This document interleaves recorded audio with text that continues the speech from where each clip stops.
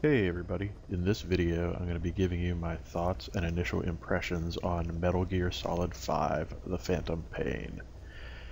Now, uh, this is a really difficult game for me to cover in a lot of ways, uh, mostly because it's a really different from a lot of the games that I typically cover on the channel these days you know, most of the time I kind of go out of my way to feature games that are a little bit more obscure, a little bit less well known, perhaps in some stage of development, uh, and otherwise just not your typical standard AAA quote unquote finished game. Um, but the simple truth of the matter is, this game for me has a lot of significance in a lot of ways, and I felt like it was a important enough game and a meaningful enough game to me personally for me to want to try to put it on the channel and, and cover it. But having said that, I very quickly realized when I was thinking about doing this video that trying to cover this game in the way I typically do is just not going to work. You know, typically I would break down all of the things the game does, kind of uh, praise the things that I think are good about it, uh, point out critiques and, and things for possible improvement in future versions and that sort of thing.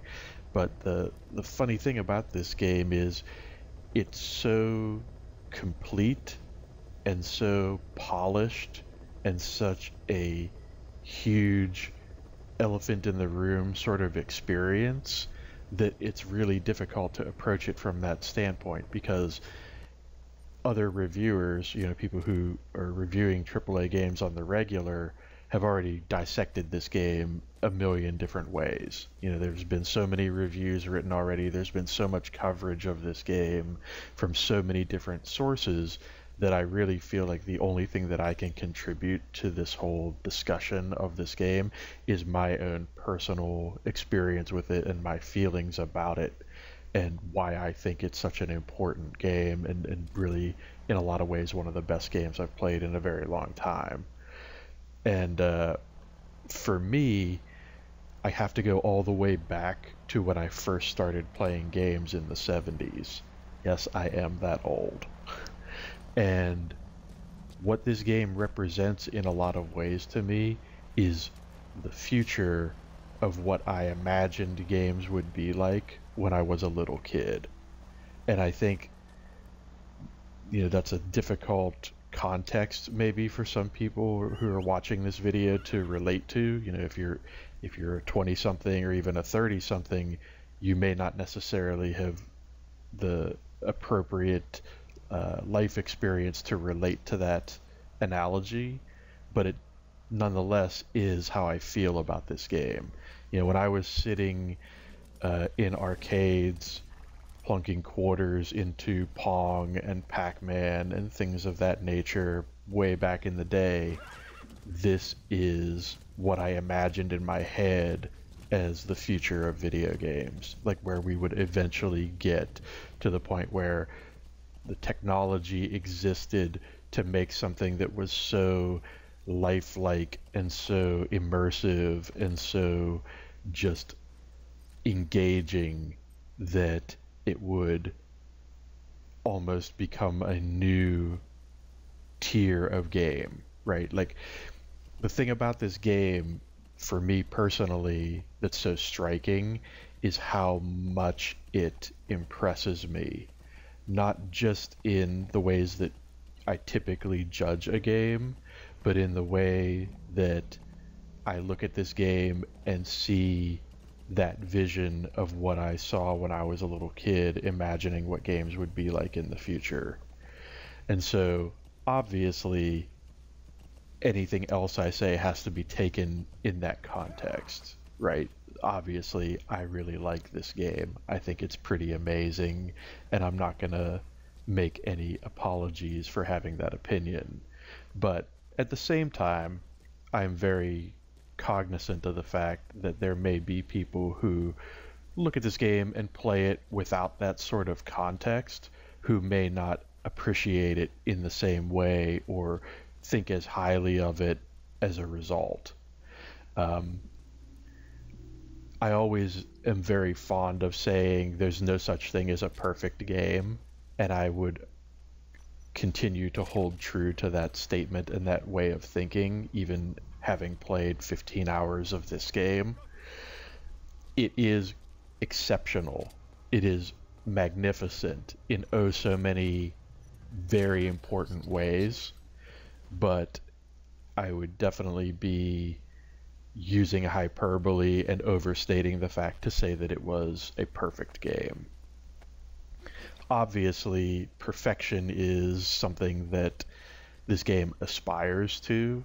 It is very meticulous in the way that it approaches just about every aspect of its being, uh, from the environmental detail to the gameplay mechanics to the mission design to the narrative elements to the little Easter eggs and uh, extra bonuses and activities and little nuanced minutia of the game. This is a game that screams excellence, and it's very difficult to critique this game as a result of that because when I look at the things that I find to be perhaps less than amazing, it's hard for me to really judge them too harshly because taken in the context of what the rest of the game is and how just utterly amazingly well this game does what it does as a whole any critique i could level against it almost feels hollow you know are there moments where the controls maybe flip out a little bit or where animations get a little wonky or uh, the physics in the game get a little wonky Absolutely, there are. There are those moments, as there are in any 3D based, physics based uh, simulation of anything that approaches reality.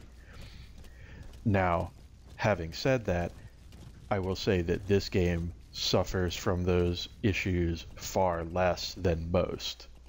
You know, w- when those issues occur, they are certainly noticeable, but because they're so infrequent and because they're so subtle when they do occur, they're very, very easy to overlook. At least for me, they were, or have been, and continue to be. Um, the bottom line for me with this game is that it is as close to perfect as I think I've seen anybody come, maybe ever. And that's just a crazy statement for me to make, given the number of games that I've played and the number of really amazing, awesome games that I have seen and experienced over the years. But I think it needs to be said that this game, in a lot of ways, raises the bar for what my expectations of any game from this point forward are going to be. You know, I think the easiest way for me to put this is simply to say that I wish every game that I played were as good as Metal Gear Solid 5, The Phantom Pain. And that is not in one particular area. Like I say, it's not just about gameplay or narrative or mechanics or controls or you know any of these individual facets that generally coalesce together to make a, a good game experience i can honestly say that treating all of those aspects as a whole this is a bar raising game and i can't help but be amazed at the sheer quality of this game, especially considering the scale and scope of it. Like it would be one thing if this game were as good and as polished and as stellar as it is if it were a small scale project. But to do something this huge in terms of the environmental size, the sheer number of missions that you get to go on, the activities you get to participate in, all the different things you get to experience, and to maintain the level of quality that I have seen throughout this game so far is simply staggering to me. I can't even imagine how the people that made this game pulled this off so expertly and didn't go crazy. You know just didn't didn't go completely mad from obsessing over all of these little details. And you know maybe maybe there's a big rubber room at Konami where they just locked all the devs after this thing was finished because they were just no good to the outside world anymore. Maybe that's a thing. I don't know. But all I can think of as a content creator myself is just how utterly impressive this game is. And it's a real shame that the video game industry is so prone to hyperbole because I really feel like even as I'm recording this that a lot of what I'm saying is going to fall on deaf ears because people have gotten so accustomed to tuning out uh, excessive praise of a product in this industry but let me tell you as somebody who's played thousands upon thousands of games this is one of the best that I've ever played. And I'm only scratched the surface, admittedly, of what it has to offer, but I already feel confident in saying that I have gotten my money's worth out of this game. It is a technically and artistically impressive work that I believe should be experienced by anybody who considers themselves a serious video game enthusiast, and even if the rest of the game would completely fall apart, even if everything would just go completely south and sideways from the 15 hour point that I'm into the game right now, I would still feel satisfied with what I've experienced up to this point and would feel confident that I could go back and revisit the parts of the game that I've already played and enjoyed and mine those for additional enjoyment and pleasure for many more hours without even going any further into the game's story uh, or content. And so I think that's the easiest way for me to sum up my feelings on the game. Obviously, in case it hasn't been absolutely clear up to this point, I think this is a fantastic, fantastic, fantastic game. And I cannot recommend it highly enough. And it is easily, in my mind, the best game that I've played in the past several years.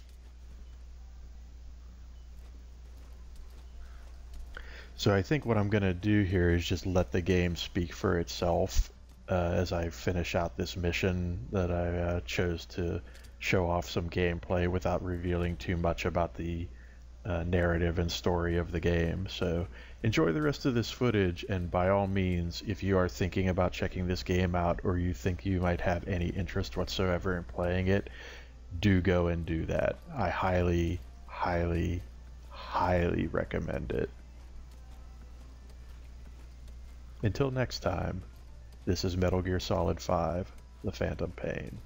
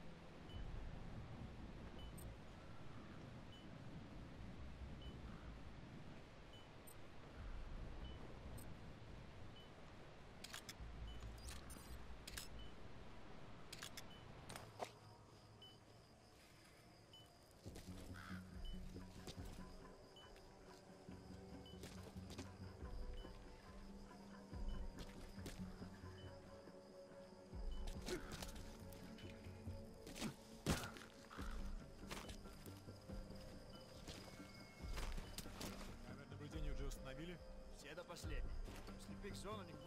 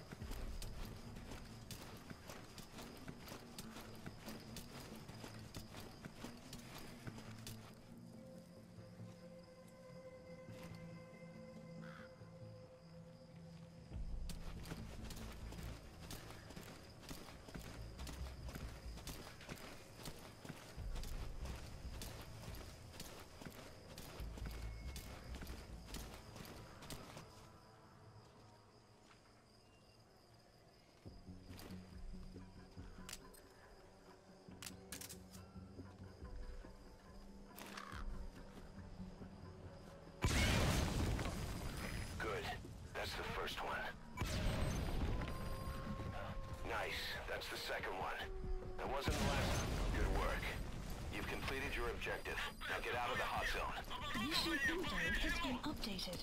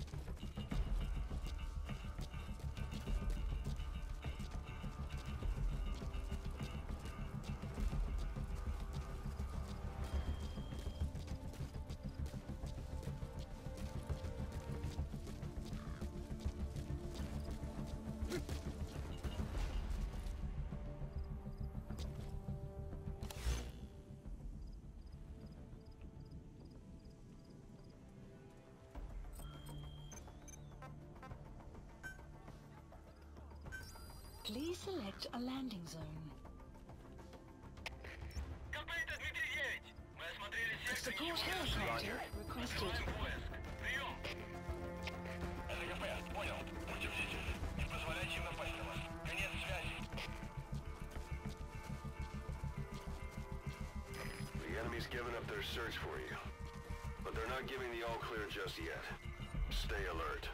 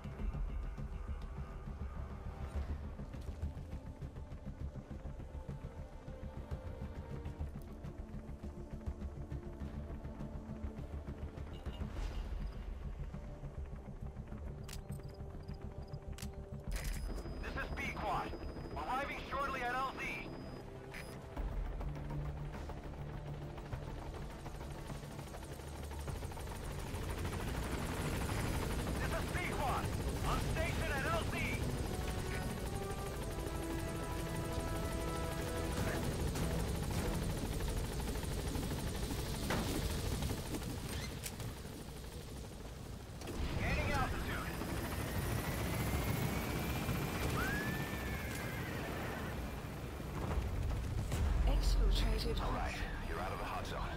No enemy forces in pursuit. Mission complete.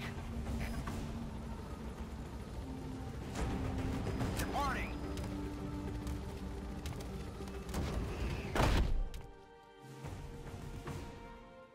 Yes, mission complete. Boss, that was exceptional.